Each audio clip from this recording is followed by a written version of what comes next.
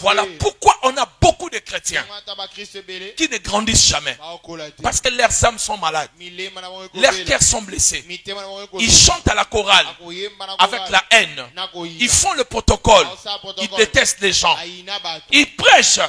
Ils sont des jaloux. Ah, Parce que leurs âmes sont malades. milema na Et dès lors votre âme est malade, vous ne pouvez pas connaître la croissance spirituelle. Vous ne pouvez pas avancer avec Dieu.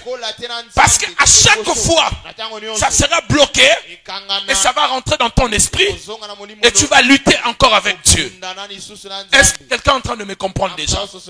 Non, si tu me comprends, donne-moi un amen. bien. Dis après moi la croissance. Dis encore la croissance. Je n'entends rien dire la croissance. C'est ça l'importance de votre cœur. Na motema Bien aimé dans le Seigneur, videz votre cœur. Libérez votre âme. Les choses transiteront facilement de votre esprit. âme et directement dans le corps.